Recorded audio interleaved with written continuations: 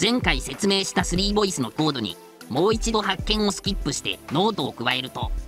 4ボイスのセブンスコードになります。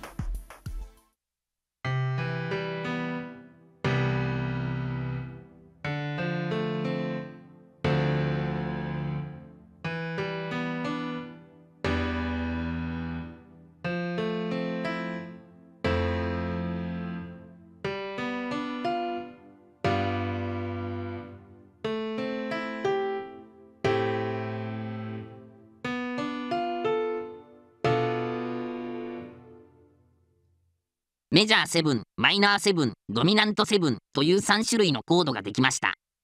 どれも7という数字が加わりますが、それぞれ性質は異なります。とても美しいサウンドですね。C メジャースケールの上では C メジャー7と F メジャー7の2つが現れます。3世の C コードの場合、真ん中のサードがメジャーコードかマイナーコードかの違いを判別する特徴音になりましたが、ルートからの半音11個上の音を加えた C メジャーセブンスの場合、サードに加えメジャーセブンという特徴音が加わりました。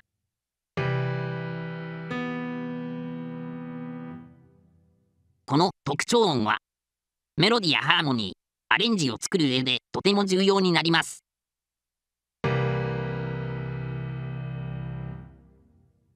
ルートからの半音10個上の音を加えた C7 の場合、サードに加え、フラット7という特徴音が加わりました。C メジャースケールの上では G7 のみ、この形で現れるので、このコードはドミナントセブンスコードと呼ばれます。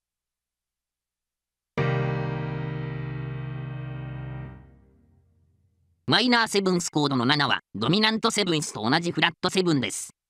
C メジャースケールの上では d マイナー7、e マイナー7、a マイナー7の3つのコードが現れます。マイナー7の場合、7は特徴音にはなりません。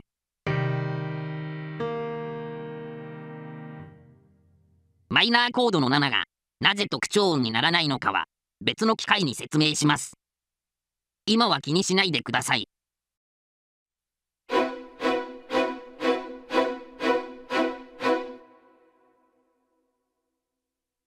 作曲する上で C と C メジャーセブンスは響きがはっきりと違うので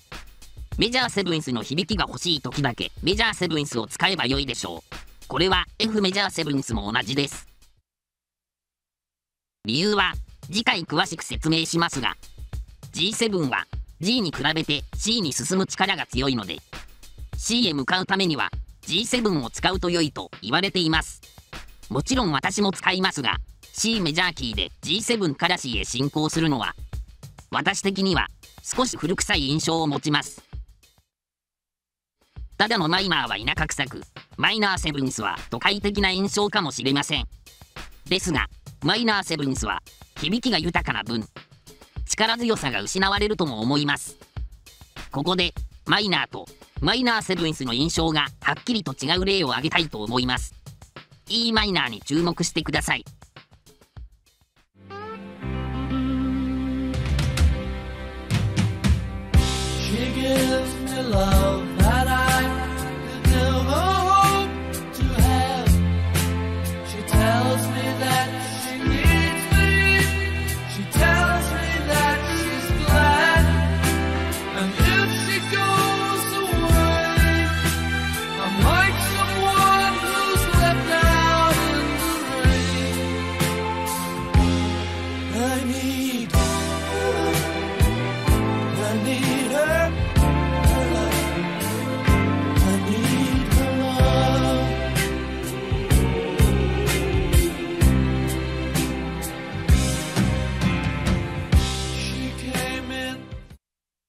本当にいい曲ですね。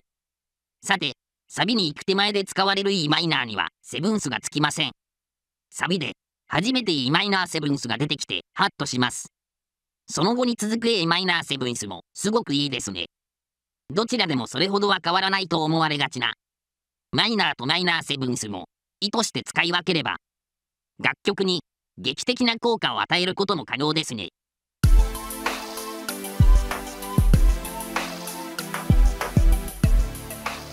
曲の中で3ボイスのコードを使うか4ボイスを使うかの選択肢が増えました。どれを使うかはあなたに託されています。